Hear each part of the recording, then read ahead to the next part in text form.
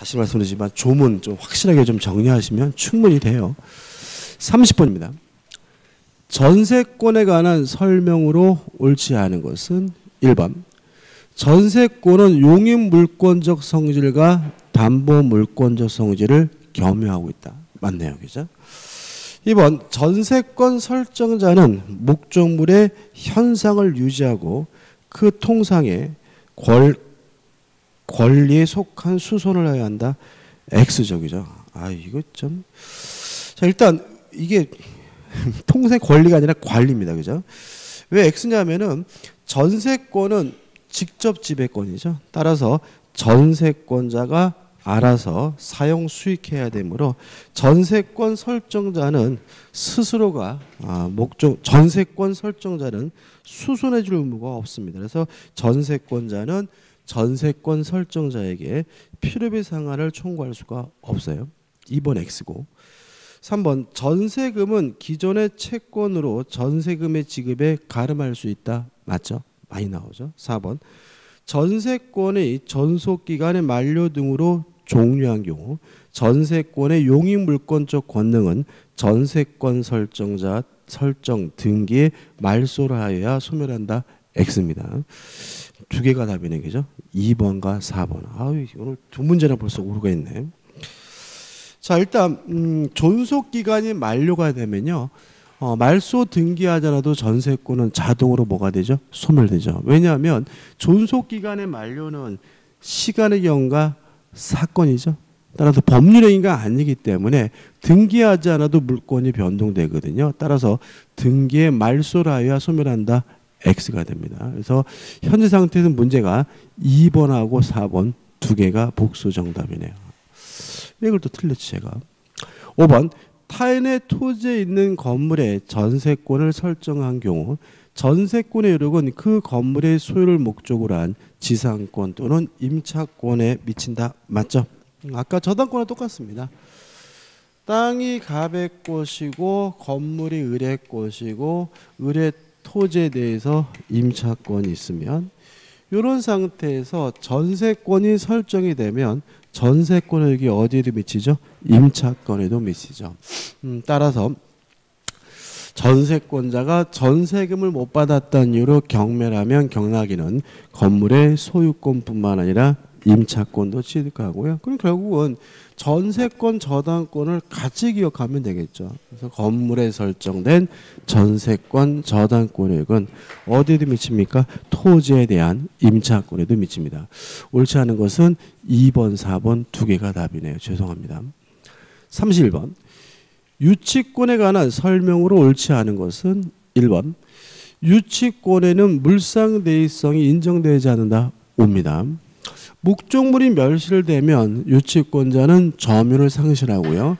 점유를 상실하면 유치권이 바로 소멸돼야 되므로 물상대의성이 인정되지는 않습니다. 2번 당사자가 미리 유치권 발생을 배제하는 특약을 한 경우 유치권은 발생하지 않는다. 옵니다. 자, 유치권은 법정 담보 물권이지만 당사자 간의 특약으로 그 성립을 배제할 수가 있습니다. 3번 유치권의 행사로 피담보 채권의 소멸시효 진행을 막지는 못한다. 오예요. 따라서 유치권 자체가 독자적으로 소멸시효 걸리진 않지만 채권이 소멸시효가 완성돼서 소멸되면 유치권도 자동으로 소멸되게 되는 거죠. 4번 유치권의 점유가 간접 점유이고 채무자가 직접 점유자인 경우 유치권은 성립한다. X.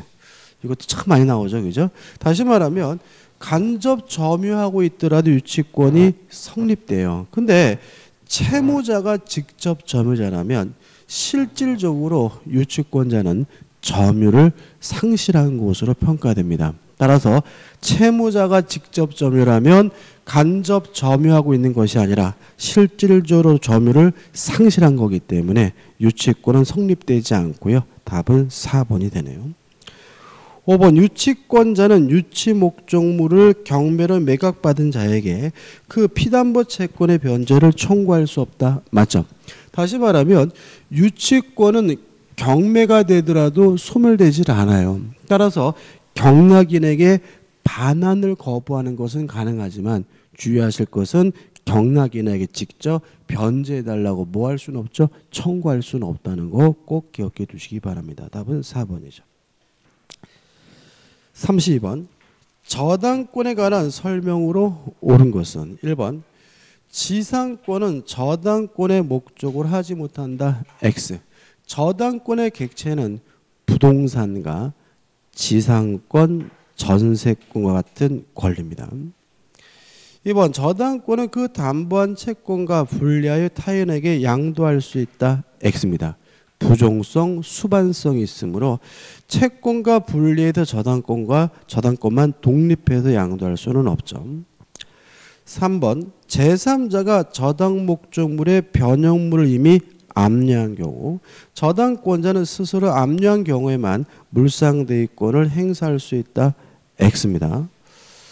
어, 저당 목, 물상대위권이 인정되려면 압류를 해야 되는데 저당권자가 든 제3자가든 상관이 없기 때문에 저당권자가 스스로 압류한 경우에만 물상대위권 행사할 수 있다. X가 되는 거죠. 답이 없나 그러면? 4번 저당 부동산에 대하여 지상권을 취득한 제3자는 저당권자가 그 부동산으로 담보된 채권을 변제하더라도 저당권의 소멸을 청구할 수 없다. 5번 근저당권의 피담보 채권의 확정 전에 발생한 원본 채권에 관하여 확정 후에 발생하는 이자나 지연 손해금 채권은 채권 최고의 범위 내라면 그 근저당권에 가여 담보된다. 5번이 맞는 질문이죠. 아, 답이 뭐죠? 3번이 아니라 5번입니다. 3번이 아니라 뭐죠? 5번이에요. 자, 4번 다시 한번 읽어볼게요. 저당 부동산에 대하여 지상권을 취득한 제3자죠. 그럼 이 사람은 제3취득자고요. 제3취득자는 채무자가 반대하더라도 저당권이 설정된 피담보 채권을 변제하고 저당권의 말소를 뭐 할 수 있죠? 청구할 수가 있기 때문에 저당권자에게 그 부동산으로 담보된 채권을 변제하더라도 저당권의 소멸을 청구할 수 없다. X가 되는 거죠. 5번이 맞습니다. 왜 답이 3번으로 돼 있죠? 자, 이런 문제죠. 음, 근저당이 설정이 되고요. 그 저당권에 의해서 담보되는 채권액이 확정이 되면 이제부터는 뭐로 바뀌냐면 저당권으로 바뀝니다. 따라서 요 후에 발생하는 채권은 더 이상 근저당권에 의해서 뭐 될 수 없어요? 담보될 수는 없는 거죠. 다만 주의하실 것은 뭐냐면 요 사이에 발생한 원본 채권이나 원본 채권으로부터 발생한 이자나 또는 지연 배상금은 어, 계속해서 근저당권에 의해서 담보가 된다는 것이 우리 판례 입장이에요. 다시 말씀드리면 채권액이 획정된 후에 새롭게 발생한 채권은 더 이상 요 근저당권에 의해서 뭐 되지 않습니까? 담보되지 않지만 요 사이에 발생한 원본 채권의 이자나 지연배상금은 채권액이 확정된 후에 발생하더라도 근저당권에 의해서 담보가 된다는 것이 우리 판례 입장이거든요. 5번 다시 한번 읽어볼게요. 근저당권의 피담보 채권의 확정 전에 발생한 원본 채권에 관하여 확정 후에 발생하는 이자나 지연 손해금 채권은 채권 최고액 범위 내라면 그 근저당권에 의하여 담보된다 맞는 질문이고요. 따라서 답은 3번이 아니라 뭐죠? 5번이 답이 됩니다.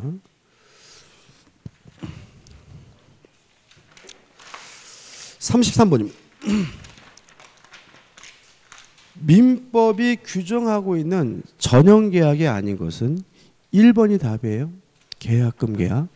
다시 말하면 매매 계약이 전형 계약이고요. 계약금 계약이나 또는 예약이나 다 뭐죠?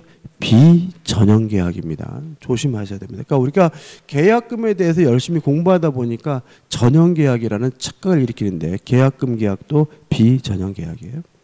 34번입니다. 청약과 승낙에 관한 설명으로 옳지 않은 것은 1번 청약과 승낙은 불특정인에 대하여도 할 수 있다. X죠. 청약의 상대방은 불특정 다수라도 상관이 없지만 승낙의 상대방은 뭐여야 돼요? 특정인이어야 하죠.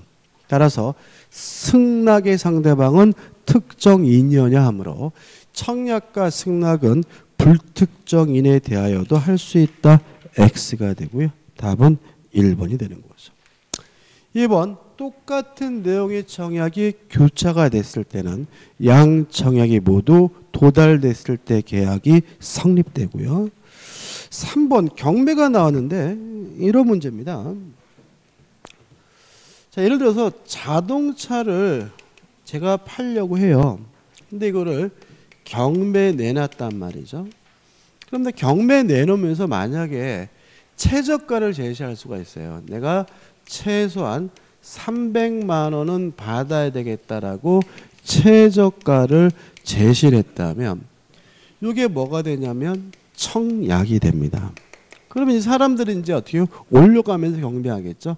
310만 원, 320만 원, 330만 원, 350만 원 더 이상 없습니까? 라고 해서 꽝꽝꽝 했다면 요 최고가를 제시한 것이 뭐가 되냐면 승낙이 때문에 아, 바로 계약이 뭐가 돼요? 성립되게 되는 거죠. 근데 조심할 것은 뭐냐면 자동차를 팔면서 경매 내놨는데 최저가를 제시를 안 했어요.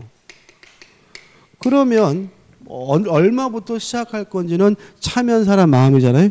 어떤 또래가 있은 놈이 10원 이랬어요.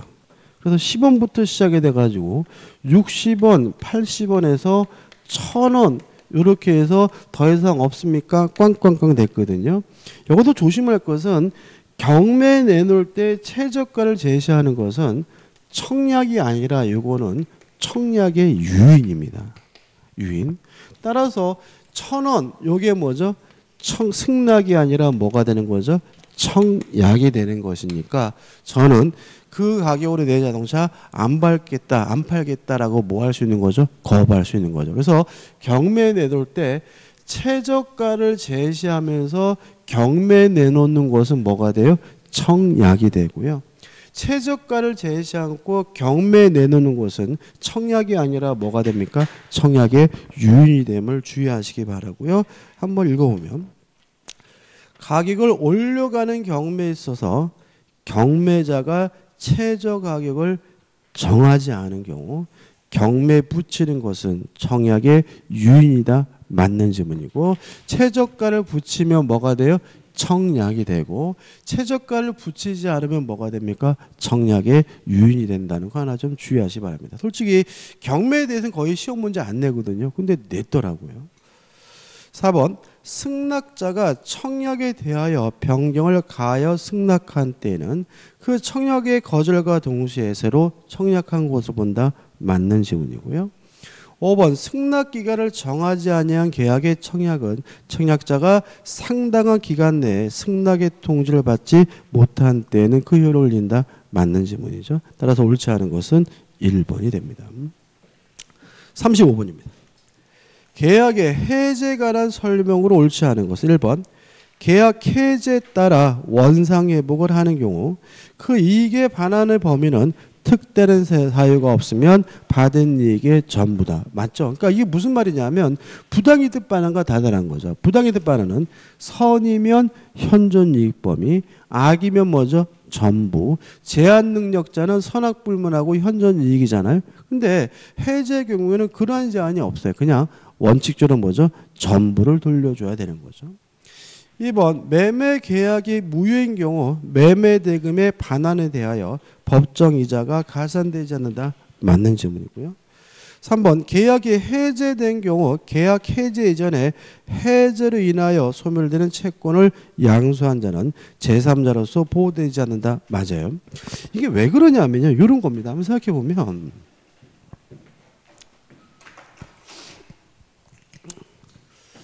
갑이 소유하고 있는 A 건물에 대해서요. 을과 만나서 매매 계약을 하고 갑이 을에게 이전 등기를 해줬고 을이 또다시 병한테 팔아먹고 병한테 등기를 해줬는데 갑이 을과의 매매 계약을 해제했다면 이 사람은 보호의 대상으로서 뭐인 거죠? 제3자인 거거든요. 똑같아요.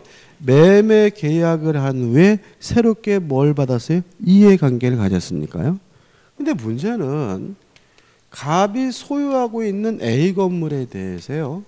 을이 매매 계약을 했고 그러면 을은 아직 소유권이 없고 이전 등기를 요구할 수 있는 뭐만 있어요? 채권만 있는 상태죠. 요 채권을 만약에 병에게 양도를 했다면 이제는 어떤 일이 벌어지냐면 채권자라는 법적주의가 넘어간 거예요. 채권이 양도가 되면 더 이상 을이 채권자가 아니라 누가요? 병이 채권자이기 때문에 이 병은 제3자가 아니라 뭐가 되냐면 당사자가 돼요. 다시 말씀드릴게요. 채권 자체를 양수한 양수인은 당사자적 법적주의를 뭐한 겁니까? 승계한 사람입니다. 다시 말하면 이제는 더 이상 을이 채권자가 아니라 누가 채권자예요? 병이 채권자이기 때문에 병은 뭐인 거예요? 당사자인 것이지 뭐가 아닙니까? 제3자가 아닙니다. 다시 한번 읽어볼게요. 계약이 해제된 경우 계약 해제 이전에 해제로 인하여 소멸되는 채권을 양수한 자, 채권 자체를 양수한 사람은 뭐입니까? 당사자입니다. 따라서 제3자로서 보호되지 않는다는 지문은 맞는 지문이 됨을 주의하시기 바랍니다. 4번 매매 계약 해제에 따른 원상 회복 의무 이행으로서 이미 지급한 매매 대금의 반환을 구하는 경우 과실상계가 적용된다 X입니다. 과실상계 적용될 수가 없습니다. 이건 뭐 과실하고 상관이 없죠. 답은 4번이고 5번 권리가 전부 타인에게 속하여 그 권리를 이전받지 못한 매수인이 계약을 해지한 경우 매도인은 매수인에게 받은 대금의 법정 이자를 가산하여 반환하여야 한다. 오 맞는 질문입니다. 다시 말하면 해제된 후에 원상 회복해야 될 것이 금전이면 뭘 붙입니까? 이자를 붙이게 되는 거죠. 옳지 않은 것은 4번입니다. 36번입니다. 매매 계약에 관한 설명을 옳지 않은 것은 1번 매매 계약은 쌍무 유상 계약이고요. 2번 변제기에 도달하지 않은 채권의 매도인입니다. 자, 아, 채권의 매도, 채권의 양도가 있었고요. 어, 양도인이 채무자의 자력을 담보했어요. 이런 경우에는 원칙적으로 언제 채, 채무자의 자력을 담보한 거냐면요. 음, 양도시 다시 말하면 매매 시에 채무자의 자력을 담보한 것으로 추정합니다. 이게 추정입니다. 간주가 아니라 추정을 해요. 다만 변제기가 아직 도래하지 않은 경우에는 이때는 언제 자력을 담보한 것으로 추정하냐면 변제기에 자력을 담보한 것으로 뭐 하냐면 추정을 하거든요. 음, 다시 말하면 이런 얘기죠. 을이 갑에게 1억을 빌려주고 1억을 달라고 요구할 수 있는 채권이 있는데 요 을이 요 채권을 병에게 양도하면서 을이 병에게 뭐라 그랬냐면 채무자가 돈을 안 갚으면 내가 대신 갚아줄게. 이게 뭐죠? 채무자의 자력을 담보한 경우거든요. 그러면 언제 자력을 담보하는 거냐? 양도할 때, 매매할 때 채무자의 자력을 담보한 거다. 근데 만약에 1억을 갚기로 한 날짜가 오늘이 아니라 12월 30일이라면 아직 변제기가 도래하지 않았다면 갑이 안 갚으면 내가 대신 갚아주겠다 줄게라는 말은 언제 안 갚으면이죠? 12월 30일을 안 갚으면 대신 갚아준다는 얘기니까 변제기의 자력을 담보한 곳을 뭐하게 돼요? 추정하게 되거든요. 음, 따라서 변제기에 도달하지 않은 채권의 매도인이 채무자의 자력을 담보한 때는 채권 양도시의 다락을 것 추정한다. X입니다. 변제기가 도래하지 않은 경우에는 언제 자력을 담보한 것 추정하죠? 변제기의 자력을 담보한 것 추정하기 때문에 답은 2번이 되는 거죠. 3번 매도인은 담보 책임 면제 특약을 한 경우에도 제3자에게 권리를 설정 또는 양도한 행위에 대하여는 책임을 면하지 못할 것이고요. 4번 매매 목적물이 전세권의 목적이 된 경우 선의 매수인은 이로 인하여 계약의 목적을 달성할 수 없으면 계약을 해지할 수 있다. 맞는 질문이고요. 5번 타인의 권리 매매에서 매도인이 그 권리를 취득하여 매수인에게 이전할 수 없는 경우 계약 당시에 그 사실한 매수인은 계약을 해지할 수 있다. 맞는 질문이죠. 실제로 요 4번과 5번은 담보 책임과 관련되죠. 담보 책임과 관련돼 우리가 꼭 기억해 두어야 될 것이 뭐냐면 악의 매수인입니다. 악의 매수인이 할 수 있는 거죠. 첫째, 전부 타인의 권리인 경우 악의 매수인도 계약을 뭐 할 수 있죠? 해제할 수가 있고요. 두 번째, 일부 타인의 권리인 경우 악의 매수인도 대금 감액을 청구할 수가 있고요. 세 번째, 저당권, 전세권이 설정돼 있었고요. 저당권, 전세권이 실행이 되는 바람에 권리를 취득할 수 없거나 상실한 경우에는 악의 매수인도 계약을 해지할 수 있고 손해배상도 청구할 수가 있어요. 근데 여기서 좀 조심할 것은 뭐냐면 악의 매수인도 계약을 해지할 수 있고 손해배상을 청구할 수 있는 경우는 저당권 전세권이 실행이 돼서 권리를 취득할 수 없거나 상실한 경우거든요. 따라서 다시 한번 볼 것이 뭐냐면 어, 4번 질문 다시 보시면 매매 목적물이 전세권의 목적이 된 경우잖아요. 그 말은 전세권자가 뭐 했다는 말은 아니에요. 경매했다는 말은 아니에요. 이때는 악의 매수인에게 아무것도 인정되지 않습니다. 선의 매수인만 계약의 목적을 달성할 수 없으면 계약을 해지하거나 선의 매수인만 뭘 할 수 있냐면 손해배상을 청구할 수가 있어요.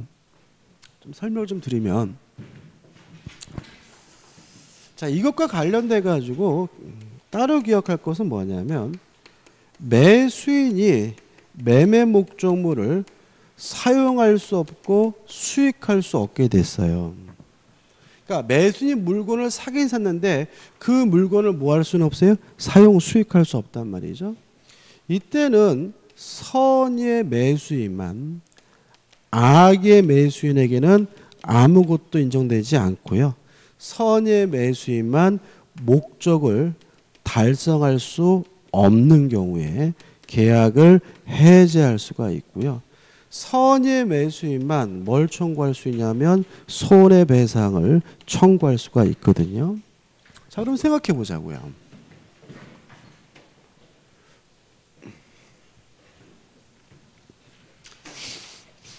갑이 소유하고 있는 A 건물을요, 을이 샀어요. 사가지고 이전 등기까지 받았는데, 문제는 요 A 건물에 병 앞으로 뭐가 설정되어 있냐면 전세권이 설정되어 있어요. 그러면 을은 그 집에 들어갈 수가 없죠. 그죠? 따라서 사용할 수 없고 수익할 수가 없으니까 이때는 을은 선인 경우에만 계약을 해지하거나 뭐 할 수 있는 거예요? 손해배상을 청구할 수가 있는 거예요. 근데 그 문제가 아니라 이 전세권자가 전세금을 못 받았다는 이유로 경매를 해버렸어요. 그러는 바람에 을은 권리를 뭐할수 없었어요? 취득할 수가 없었어요. 그러면 이제는 요 문제가 아니라 뭐죠? 요 문제인 거죠. 전세권의 실행으로 권리를 취득할 수 없는 경우니까 이때 을은 악이어도 계약을 뭐 할 수 있죠? 해지할 수 있고 악이어도 뭘 할 수 있는 거예요? 손해배상을 청구할 수가 있는 거죠. 이해되시죠? 자, 그러면 한 가지만 더 해보자고요. 갑이 소유하고 있는 A 건물에 대해서요. 을이 만나서 매매 계약을 했는데 이 A 건물에 병 앞으로 저당권이 설정돼 있어요. 이랬을 때 의리가백에 담보 책임을 물을 수 있을까요? 없을까요? 없다는 거죠. 왜냐하면 저당권이 설정됐다 그랬지 저당권자가 뭐 했다는 말은 아니에요. 경매했다는 말은 아니고요. 또 저당권이 설정돼 있더라도 을은 사용 수익하는데 아무런 지장이 없죠. 그죠? 따라서 이것도 아닌 거잖아요. 따라서 저당권이 설정됐다는 이유만으로는 담보 책임 물을 수가 없다는 것도 좀 주의하시기 바라고 다만 그 문제가 아니라 저당권자가 돈을 못 받았다는 이유로 뭘 했어요? 경매라는 바람에 우리 권리를 취득할 수 없거나 상실한 경우에는 악의 매수인들 계약을 해지할 수 있고 무엇도요? 손해배상도 청구할 수가 있는 겁니다. 다시 한번 읽어볼게요. 4번. 매매 목적물이 전세권의 목적이 된 경우 그럼 매수인은 들어가서 살 수가 없는 경우니까 선의 매수인은 이로 인하여 계약의 목적을 달성할 수 없으면 계약을 해지할 수 있다 맞는 지문인 거고요. 아 나는 도대체 복잡해서 못 살겠다 그러면 뭐만 잊지 않으시면 돼요. 선의 매수인은 다 할 수 있다. 그래서 문제 지문에서 선의 매수인이 뭔가를 할 수 있다 그러면 다 맞는 말. 선의 매수인이 뭔가를 못한다 그러면 무조건 뭐죠? X다. 이렇게 접근하셔도 상관은 없어요. 답은 뭐죠? 2번입니다. 자 넘기셔가지고 37번이죠. 임차인의 부속물 매수 청구권에 관한 설명으로 옳지 않은 것은 1번 일시 사용을 위한 임대차가 명백한 경우 뭘 말하죠? 여간방에 살밤 잔 경우 펜션에서 3박 4일 숙박한 경우 당연히 뭘 청구할 수 없습니까? 부속물 매수를 청구할 수가 없기 때문에 임차인은 부속물 매수 청구권을 행사할 수 있다. X죠. 답은 뭐죠? 1번입니다. 근데 여기서 조심할 것은 뭐냐면 비용 상한 청구권은 인정이 됩니다. 뭐는 인정된다고요? 비용 상한 청구권. 다시 말하면 여간방에 서랍밤 자는 경우에도 뭐는 청구할 수 있어요? 비용은 청구할 수 있지만 뭐는 없습니까? 부속물 매수 청구권 없다는 거 꼭 기억해 두시기 바라고요. 1번이 답이죠. 2번 채무 불이행원료 임대차가 해지됐다면 부속물 매수로 청구할 수는 없고요. 3번 임차인이 부속물 매수 청구권을 적법하게 행사했어요. 그럼 이건 형성권이잖아요. 그러면 매수 청구하는 순간 쌍방 간에는 매매 계약이 성립되고요.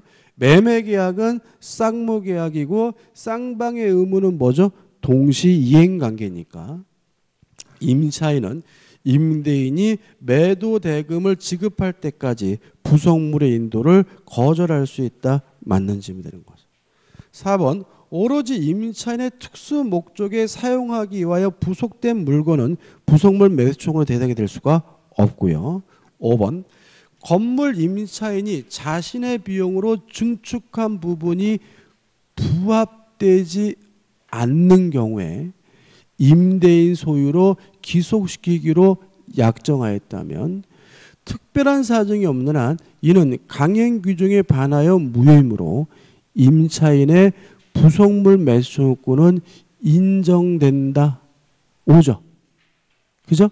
다시 말하면 비용 상한 청구권에 관한 민법 규정은 임의 규정이니까 특약으로 뭐 할 수 있어요? 배제할 수 있지만 부속물 매수 청구권에 관한 민법 규정은 뭐죠? 강행 규정이기 때문에 특약으로 뭐 할 수 없어요? 배제할 수 없어요. 따라서 5번은 맞는 지문이고 옳지 않은 것은 뭐죠? 1번만이 답입니다. 38번 임차인의 유익비 상한 청구권에 관한 설명을 옳지 않은 것은 1번 임차인은 임대차가 종료하기 전에 유익비 상한을 청구할 수 있다. X죠. 이 비용 상한 청구권에 대해서 아주 시험에 잘 나오죠.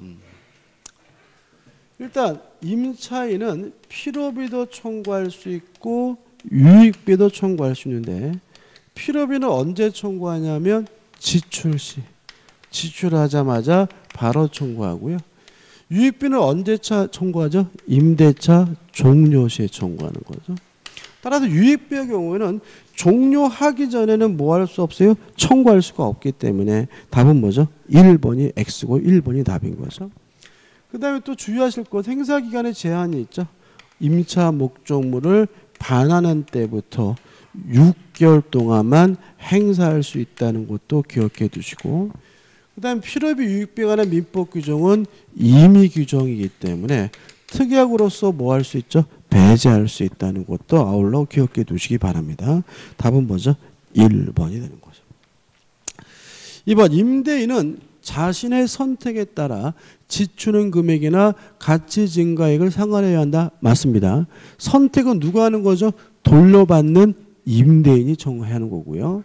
3번 유익비 상환 증권권의 임대인이 목적물을 반환받은 날로부터 6개월 내 행사해야 되고요. 4번 임대인에게 비용 상환을 요구하지 않기로 하는 약정은 임차인의 유익 약정한 경우 임차인은 유익비 상환을 청구할 수 없다. 맞죠? 왜냐하면 임의 규정이기 때문에 특약으로 뭐 할 수 있어요? 배제할 수가 있으니까요. 5번 임대인이 유익비를 상환하지 않으면 임차는 특별한 사정이 없는 한 임대차 종료 임차 목적물의 반환을 거절할 수 있다. 왜요? 필요 유익비는 물건에 관하여 생긴 채권이니까 뭘 행사할 수 있습니까? 유치권 행사가 가능하기 때문에 그런 거죠. 따라서 옳지 않은 것은 1번이 답이 됩니다. 39번입니다. 위임에 관한 설명으로 옳지 않은 것은 1번 위임 계약은 각 당사자가 언제든지 해지할 수 있다 옵니다. 2번 복위임은 위임인이 승낙한 경우나 부득이한 경우에만 허용된다 맞습니다. 이거 왜 그러냐면 복대에 관한 민법 규정이 준용이 되기 때문에 그래요. 따라서 임의대리는 원칙적으로 복들이 선임할 수가 없고 본인의 승낙이 있거나 부득이한 사유가 있어야 선임할 수 있다는 규정이 어디에 적용됩니까? 유임에도 준용이 되는 거죠. 3번 수임인은 위임이 종료한 때로부터 지체 없이 그 전말을 위임인에게 보고하여 하고요. 4번 위임이 무상인 경우 수임인은 선량한 관리자의 주의음으로써 위임 사무를 처리해야 하고요. 5번 당사자 일방이 상대방의 불리한 시기에 위임 계약을 해지하는 경우 할 수 있습니다. 이게 1번과 연결이 되는 거죠. 그러니까 위임 계약은 언제든지 해지할 수 있고요. 또 특히 상대방에게 불리한 시기도 위임 계약을 뭐 할 수 있어요? 해지할 수가 있는데 문제는 부득이한 사유가 없다면 손해를 배상해야 돼요. 다시 말하면 부득이한 사유가 있더라도 손해를 배상하는 것이 아니라 부득이한 사유가 없는 경우에만 뭘 해야 돼요? 손해를 배상해야 됩니다. 뭐 적으면 이렇게 되는 거죠. 위임 계약은 언제든지 자유롭게 해지하는 것이 뭐죠? 가능하다. 따라서 특별히 상대방에게 불리한 시기에도 불리한 시기에도 뭐 할 수 있는 거죠? 해제하는 것이 뭐죠? 가능하고요. 다만 불리한 시기에 해제하는 경우에는 어, 부득이한 사유가 없다면 다시 말하면 부득이한 사유가 부존재하는 경우라면 요때는 뭘 해줘야 됩니까? 손해배상을 해줘야 됩니다. 따라서 만약에 부득이한 사유가 존재한다면 불리한 시기라 하더라도 뭐 할 필요 없죠? 손해배상해 줄 필요가 없으므로 답은 뭐죠? 어, 4번이 되는 5번이 되는 거죠. 5번. 그러니까 유임 계약은 해제해서 시험 문제를 참 잘 내요. 이것도 왜 그러냐면 왠지 상식적이지 않은 것 같기 때문에 잘 내니까 꼭 기억해 두시기 바랍니다. 40번입니다. 공작물의 점유자 및 소유자의 책임에 관한 설명으로 옳지 않은 것은 1번 전기 자체는 공작물은 아니고요. 2번 공작물의 점유자에게 면책 사유가 인정되지 않는다. X입니다. 자, 원칙적으로 점유자가 책임을 집니다. 다만 점유자가 모든 주의 의무를 다했다는 사실을 입증하면 2차적으로 소유자가 책임을 부담하기 때문에 점유자에게 면책 사유가 인정이 돼요. 답은 2번이고. 3번 피해자에게 손해 배상을 한 점유자 또는 소유자는 그 손해 원인에 대해 책임 있는 자에게 구상권 행사할 수가 있을 거고요. 4번 공작물의 책임이 인정되기 위해서는 공작물의 하자와 손해 사이에 인과관계가 있어야 되고요. 5번 공작물에 대한 직접 점유자와 간접 점유자가 있다면 원시적으로 누가요? 직접 점유자가 1차적으로 책임을 지게 됩니다. 오늘 여기까지고요. 아, 문제 두 문제가 복수 정답이 나와서 좀 찜찜하긴 한데 어, 죄송하고요. 다음 주부터는 오류가 없도록 하겠습니다. 오늘 수고 많으셨습니다. 고맙습니다.